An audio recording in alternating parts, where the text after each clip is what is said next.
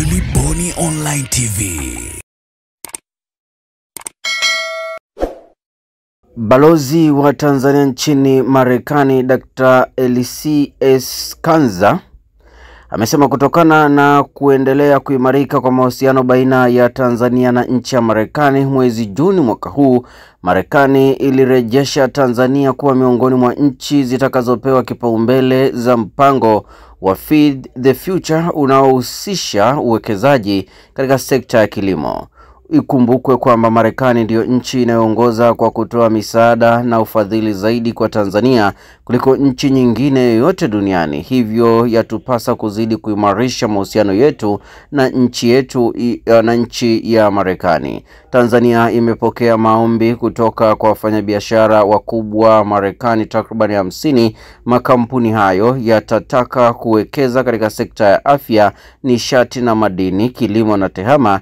Hivyo tuendelee kuwasiliana na makampuni hayo ili kufanikisha nia yao ya uwekezaji nchini Tanzania, anasema Balozi lcs S. Kanzi. Jamhuri ya Muungano wa Tanzania alishiriki kwenye mkutano wa viongozi wa nchi za Afrika na Marekani uliofanyika kuanzia tarehe kumi na tatu hadi kumi na tano Disemba mwaka elfu mbili ishirini na mbili. Lengo kuu la mkutano lilikuwa ni kujadili ushirikiano baina ya nchi za Afrika na Marekani kwenye maeneo mbalimbali yenye maslahi kwa pande zote mbili ikiwemo maendeleo ya vijana, diaspora, afya, usalama wa chakula, amani na usalama, biashara na uwekezaji, tehama, utunzaji wa mazingira na mabadiliko ya tabia nchi. Jumla ya nchi 49 za Afrika zilialikwa na kushiriki kwenye mkutano huo ambapo wakuu wa nchi za Afrika wapatao 40 walishiriki. Mheshimiwa Rais alipokelewa nchini Marekani kwa upendo, furaha na heshima kubwa sana.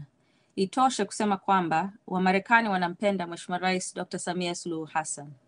Mtakumbuka hata alipokuja Marekani mwezi Aprili mwaka huu kwa ajili ya uzinduzi wa filamu ya Tanzania The Royal Tour, alikaribishwa ikulu ya Marekani na kukutana kwa mazungumzo na Mheshimiwa Kamala Harris, makamu wa rais wa Marekani. Hata kwenye ziara hii pia Mheshimiwa Rais amepokelewa kwa upendo na heshima hiyo hiyo. Mathalan, kwenye hafla iliyoandaliwa na Rais Joe Biden wa Marekani kwa ajili ya wakuu wa nchi za Afrika, Mheshimiwa Rais aliwekewa nafasi ya kuketi pembeni ya rais huyo, swali swala lililowezesha kufanya mazungumzo mengi muhimu. Kadhalika, wakati wa hafla iliyoandaliwa na Mheshimiwa Nancy Pelosi, spika wa bunge la Marekani, ndani ya bunge hilo, spika huyo alimwomba Mheshimiwa Rais atoe hotuba fupi wakati wa hafla hiyo. Uhusiano baina ya Tanzania na Marekani ni mzuri sana na unazidi kuimarika siku hadi siku. Mapokezi yanayopewa Mheshimiwa Rais anapotembelea hapa Marekani, kama nilivyoeleza hapo awali, ni miongoni mwa ishara zinazoonyesha uhusiano mzuri uliokuwepo baina ya nchi hizi mbili rafiki. Kutokana na uhusiano mzuri uliopo baina ya Tanzania na Marekani, imekuwa ni rahisi kwangu pia kutekeleza majukumu yangu kama balozi wa Jamhuri ya Muungano wa Tanzania hapa Marekani, kwani ninapata ushirikiano mkubwa kutoka serikali ya Marekani na washirika wengine muhimu walio nje ya serikali ikiwemo sekta binafsi.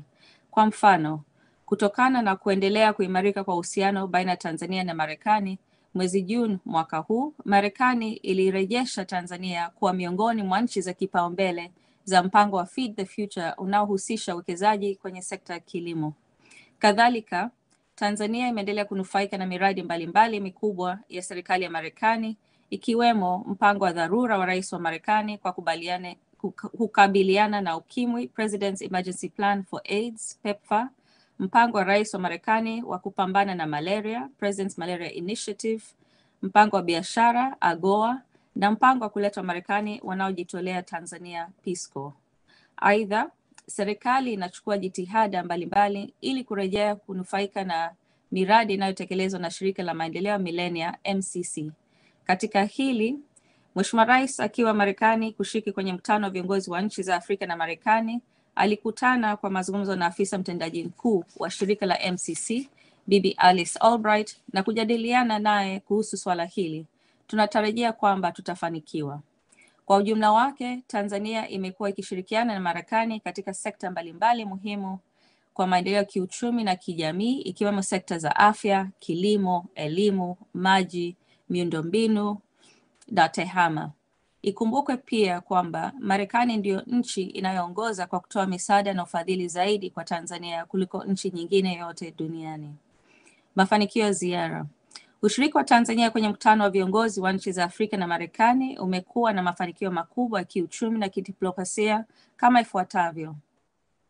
Mafanikio ya kiuchumi yamepatikana kwa namna tatu tofauti: ufadhili na miradi iliyoahidiwa na serikali ya Marekani kwa nchi za Afrika wakati wa mkutano.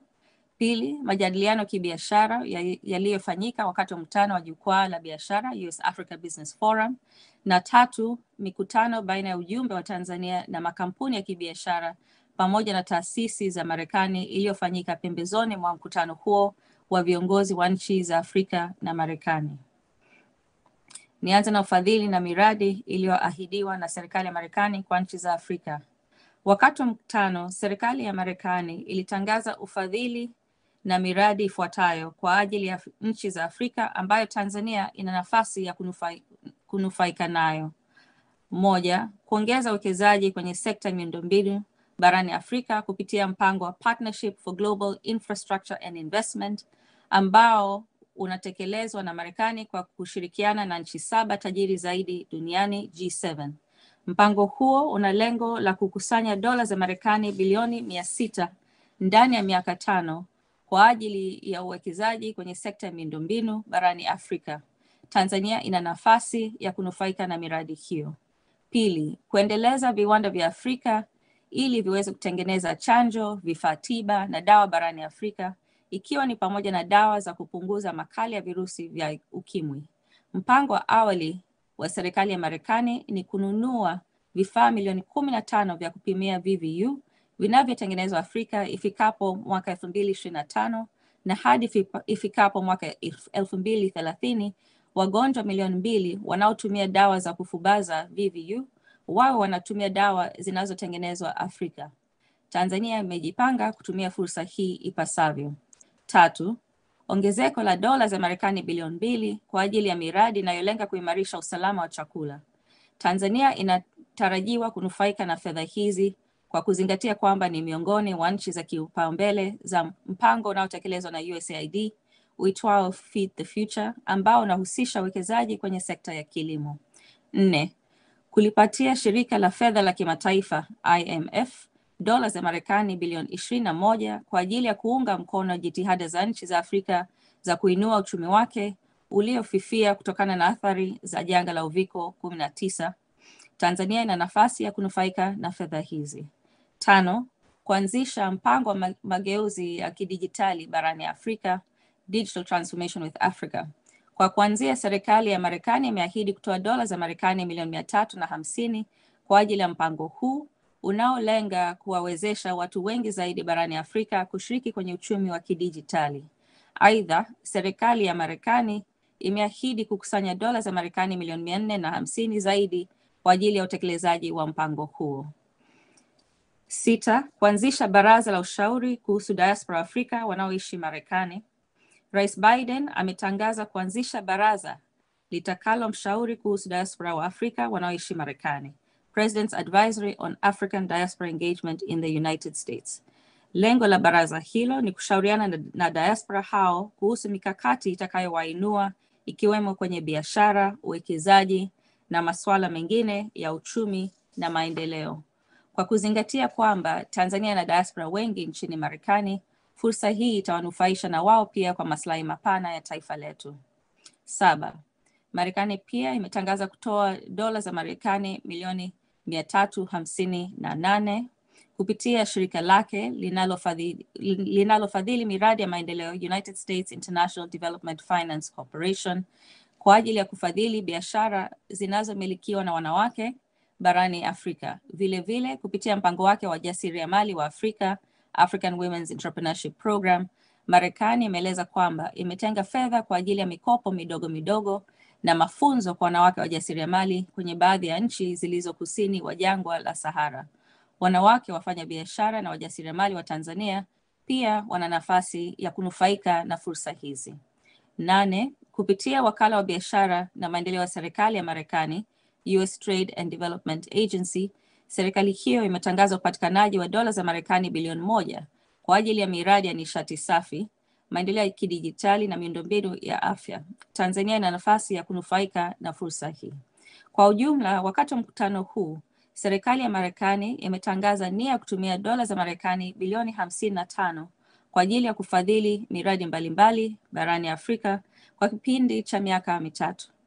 Tanzania imejiza, imejizatiti kunufaika na fedha hizo ipasavyo. Majadiliano ya kibiashara yaliyofanyika wakati wa mkutano wa jukwaa la biashara.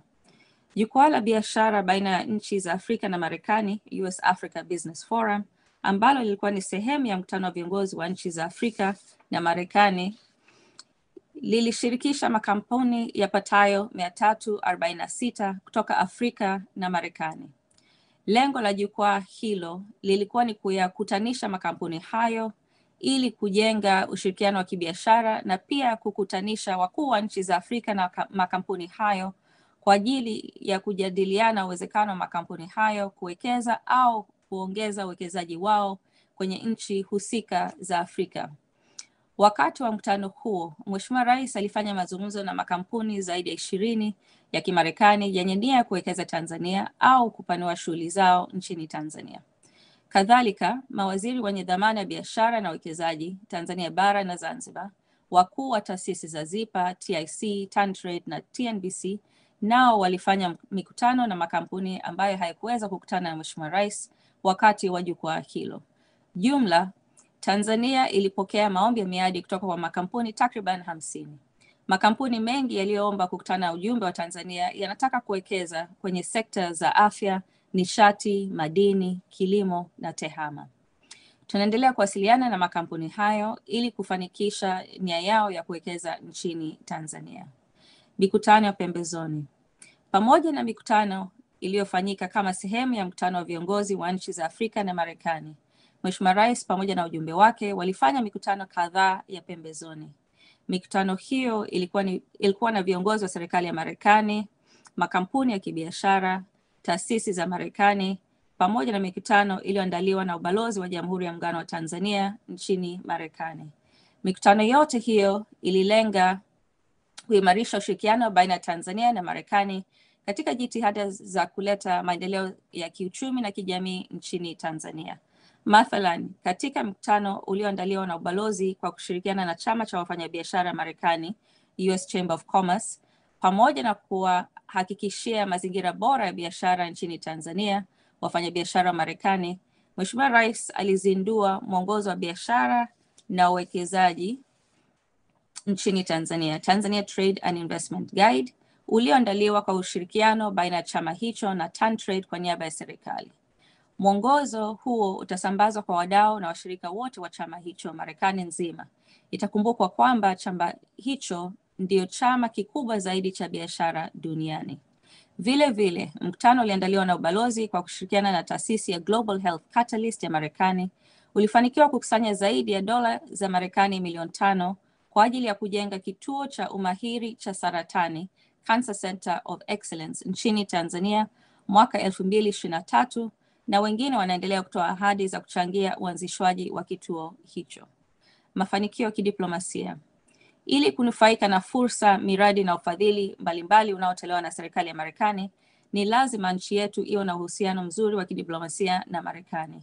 Kwa muktadha huo, wakati wa mkutano huu kwa nyakati tofauti, Mheshimiwa Rais alikutana na Rais Joe Biden wa Marekani, makamu wa rais Kamala Harris na spika wa bunge la Marekani Nancy Pelosi na kuzungumzia masuala muhimu yanayolenga kuboresha zaidi uhusiano baina ya Tanzania na Marekani. Aidha, viongozi wengine walioambatana na Mheshimiwa Rais walifanya mikutano ya uwili bilaterals na viongozi wenzao wa Marekani kwa minajili hiyo ya kuimarisha uhusiano mzuri uliopo baina ya Tanzania na Marekani. Hitimisho. Wizara inaendelea kufuatilia kwa ukaribu masuala yote ambayo yalijadiliwa na, kuku, na kukubaliwa wakati wa mkutano wa viongozi wa nchi za Afrika na Marekani, ikiwemo wakati wa mikutano ya pembezoni ili kuhakikisha nchi inapata matokeo yanayotarajiwa kwa maendeleo ya taifa na ustawi wa, wa Tanzania.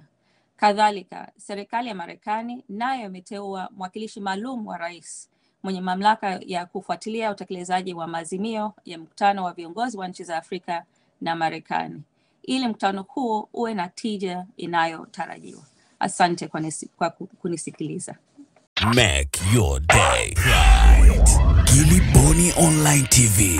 Kupata habari mpya na kwa haraka kila siku, usisahau kusubscribe kisha like na comment.